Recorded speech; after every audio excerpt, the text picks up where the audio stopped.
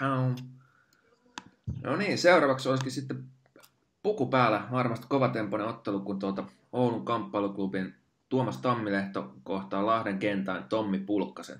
Ja sen verran miesten meritteen mainitaan, että Tammilehdolta löytyy ruskeavöiseltä EM pronssia puulla ja mustavöisen sitten EM hopeata no Ja, ja Lahden kentään Pulkkaselta löytyy sitten sinivöisenä mies on voittanut lähes kaiken mahdollisen, eli no EM, M pronssia ja no EM kultaa. kova, kova luokkaisia kavereita, että et, tuota, tästä tulee varmasti, niin kuin sanottu, niin tempainen matsi. Mitäs Raati sanoi? Mennään nyt Maunoseen ensin. Joo. Anteeksi. Tota, no, niin, äh, Pulkosta on varsinkin pukupäälle nähty valitettavan vähän viime aikoina Suomessa. Nythän Pulkkonen on ilmoittautunut toki SM-kisoihin, mikä on mahtava juttu. Ja, ja tota, noin, niin, äh, on, on kyllä pukupäällä myös, myös tosi kova, kova luu. Ää, Tammilehto, Mustavöinen, Pulkkasta vähän lyhyempi kaveri. Tosi taitavia molemmat, mutta, mutta, mutta. Anteeksi. Terveydeksi. Kiitos. Mutta tota, niin, ää, näkisin tässä tasurin mahdollisuuden kumpikaan ei ole helpoimmasta päästä lopetettavia, eikä sitten varsinaisen aggressiivisia lopettajia. Tammilehto ehkä aggressiivisemmin hakkeen yleensä lopetuksia. ja, ja anteeksi, kalmeita.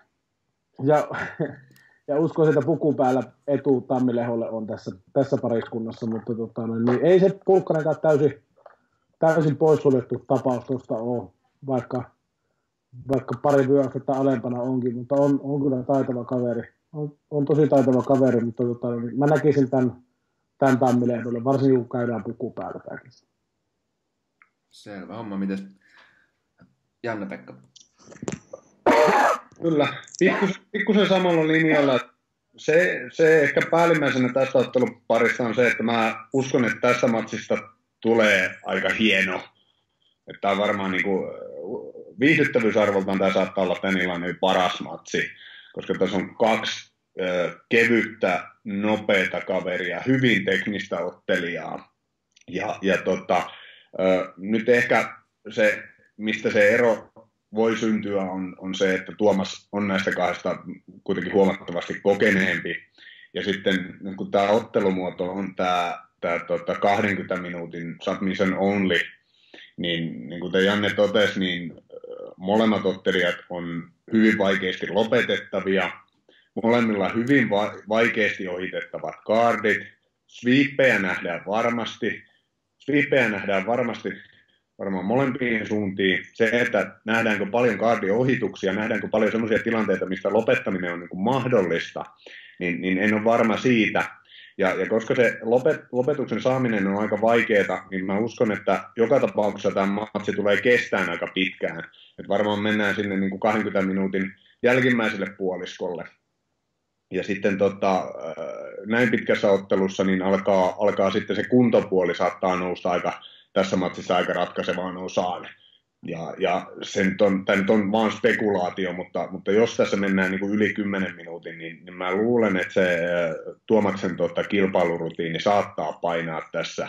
Veikkaisin, jos, jos pitäisi veikata, niin mä laittaisin tämän matsin tota, Ja ihan, ihan tähän niin kuin kokemus, kokemus- ja kilpailurutiini tota, eron perustuen. Okei, okay, joo. No, mä tuossa, mä lähden samoille linjoille, että kyllä, kyllä niin kokemuksen, kokemuksen puolelta mäkin itse näkisin tämän ehkä sitten tonne Tammilehdon puolelle sitten. Että, mut jännittävä matsi tulee varmasti, varmasti niin kuin, niin kuin tuota, kova tempoinen ottelu tulee. Ja niin kuin tuossa mainitsit, niin tosissaan itse unohdin sanoa tuossa ihan alussa, että, että submission only säännöllä, eli, eli 20 minuuttia, jos ei, jos ei lopetusta nähdä, niin se on automaattisesti sitten, sitten tasuriksi mennään. Eli, eli pisteitä ei, ei, ei näissä karkeloissa lasketa.